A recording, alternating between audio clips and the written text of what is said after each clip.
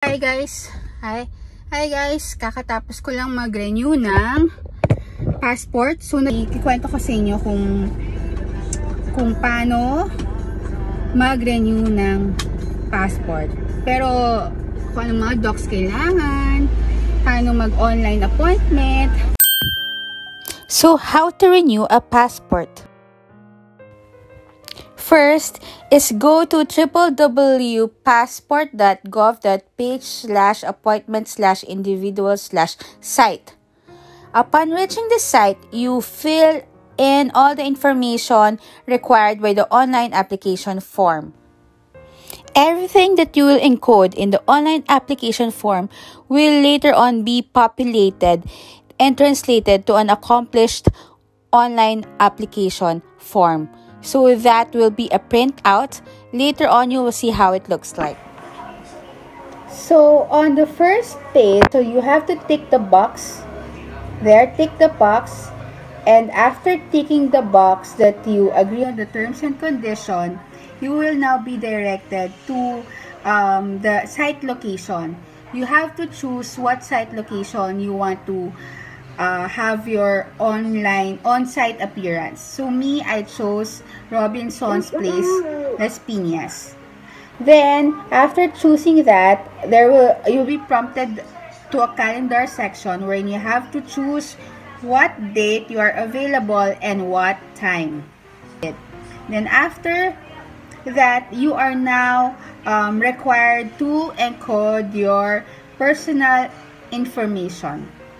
If you notice, I'll just put XXXX. So I'm gonna mask the information because personal, this is, this information are called personal identifiable information or PII. So based on data privacy law, it is um, not legal to publish any PII publicly. Same with the YouTube guidelines, PII should not be published publicly.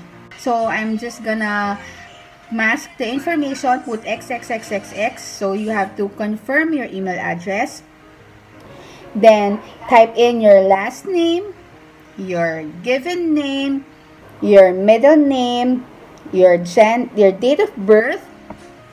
I will not complete the information on the date of birth. I'll just leave the year blank. And that's not my birthday anyway.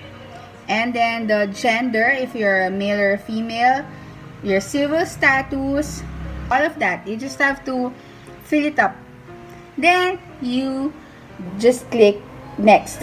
So next is the family information. So here you have to type your father's name your mother's name and your spouse's name. Um, there's a requirement for the spouse's name because I chose married in the previous uh, section so, um, after that, after completing all the information required in this family, uh, family section, you will now have to click next.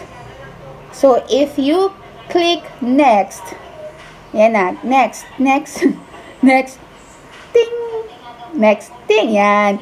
You now have to select what application type. So, it's renewal. And if it's renewal, you have to uh, encode your old passport number, the, the issuance date, and the um, issuing authority where where it has been issued. So for my case, it's DFA NCR South. It's in Alabang. Yan. And then, then key in the emergency contact number. Then last is your current address. Make sure this is correct, especially if you plan to have your passport delivered at home your address is complete and correct. So now you're given the chance to review all that you encoded. It will also remind you your selected appointment schedule. There you go. Then again, the I'm not a robot thing and again another consent um, checkbox. So after that, you'll be uh, directed to the payment section. I paid 1,200 pesos. Um, after you have completed the payment and successfully uh, paid online, you are now going to receive an email from DFA. So, ano yung laman ng email? So, the email will have the con again, the confirmation notification, to remind you of your appointment, when, what time, and where. In that same email, you will also receive the electronic official receipt. Also in the email that will be receiving from DFA mm. is the passport application form. It's a accomplished form already. Remember, we encoded personal information, family information. All of that will be auto-populated in this passport application form. So you don't have to manually write on it. There's already information based on what you encoded previously. So, tatlo yung matatanggap mo doon sa email ni DFA. Again, the confirmation notification to remind you of your appointment, when, what time, and where. Then second, the accomplished application form. Third, the electronic official receipt.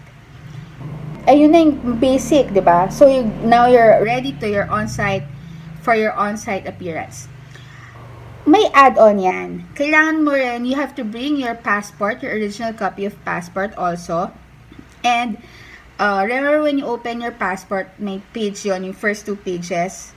You have, you need to have that photocopy, those two pages. Kailangan mo rin dalhin yon so lima na yung requirement. Of course, if you're married, uh, you need um, marriage certificate or if you're gonna change your name because yes, from single, you got married. So, birth, ano, marriage certificate, yes. You need that. Um, now, if you lost your passport, you need uh, affidavit of loss. Plus all this, all other requirements. Yan. So, on-site na. Tip ko lang do sa on-site appearance. You need to be there early. My appointment is 9. I was there 9, 8.24. I thought early na ako. Yung pala, hindi. Marami kayong 9 a.m. So, pipila kayo. Eh, nagkataon, nasa dulo na ako ng pila. So, if that's the case, nasa dulo na ako ng pila, medyo dulo na rin yung pag-turn in ko ng, ng document. So, while, when you're inside the mall already, you have to turn in the document, uh, the, turn in the application form. Application form muna. Keep to yourself yung confirmation notification, yung original passport copy, yung photocopy ng passport, and yung electronic official receipt. Keep it to yourself. Ang ito-turn in mo lang muna is the application form. Tapos, so, hindi pila na, tatawagin yung name nyo. Pag, name, pag turn nyo na, di pasok na. Tapos, may mga windows doon. Sorry, I cannot show you kasi walang camera. Not, no cameras allowed. So, may mga windows doon. So, tatawagin ka. Tapos, yun, just verify. They're gonna check if uh, you have all the complete documents that I mentioned kanina. So, you just have to rewind if you forgot it already. Then, uh, after that, picture taking na. 9.50 na and I'm still here. Nakapila na for picture taking.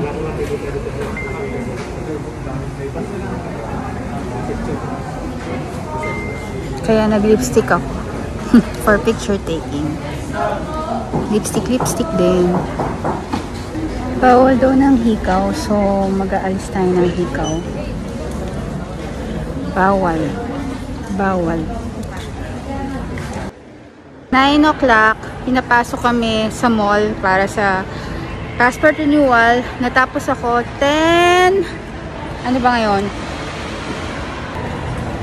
Hindi pala 10. 9.58. Natapos ako ng 9.58. So, almost 1 hour. Not bad. Pwede na. Right? Bye!